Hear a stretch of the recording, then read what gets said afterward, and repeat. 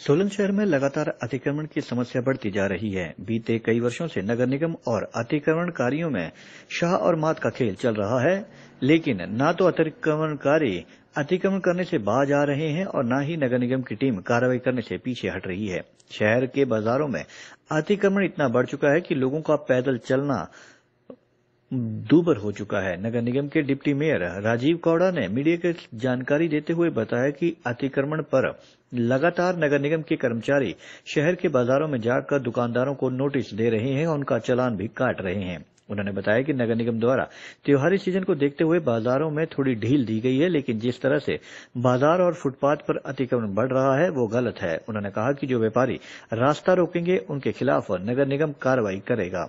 उन्होंने कहा कि अभी तक करीबन सात लोगों के चलान काटे गए हैं और रोज़ाना नगर निगम की टीम बाज़ार में जाकर व्यापारियों को अतिक्रमण को लेकर जागरूक भी कर रही है। मैं आपके माध्यम से बताना चाहता हूँ कि अतिक्रमण की समस्या पे जो है हमने हम सख्त कार्रवाई कर रहे हैं।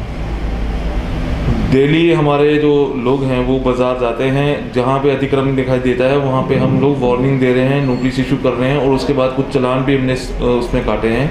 परंतु जैसे कि आप जानते त्योहारी सीज़न है, थोड़ी बहुत रिलैक्सेशन रह सकती है, परंतु इसका मतलब ये नहीं है कि आप पूरा ही चलने वाला जो रास्ता है, उसको अवरुद्ध कर दें, आप दुकानें बाहर तक लगा दें। तो इसके लिए डेली कार्रवाई चल रही है। माल रोड पर हमने कल भी वर्बली डायरेक्शंस दिए हैं, जो हमारे टीम बनी हुई है अतिक्रमण हटाने वाली।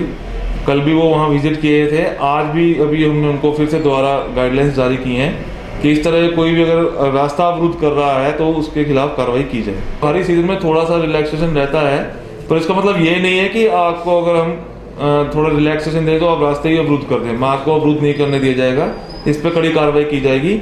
और मैं आपको बताना चाहता हूँ छः सात चलान हमने काटे भी हैं इसके ऊपर। लोगों ने सुनिश्चित किया है कि रूटीन में वहाँ पे हमारा एम्प्लॉय जाकर जो हमारी टीम है, अतिक्रमण को हटवा रही है और जो लोग नहीं मान रहे हैं, उस पर हम चलान काट रहे हैं। पिछले कल भी गाइडलाइंस जारी की हैं, आज भी सुबह ही मैंने टेलीफोनिकली वर्बली जो है अपनी टीम को गाइडलाइंस दी हैं, जारी की हैं कि आप जाएँ और अतिक्रमण को अतिशीघ्र हटाएँ और जो नहीं सुनते हैं, उनके खिलाफ उचित कार्रवाई की जाए।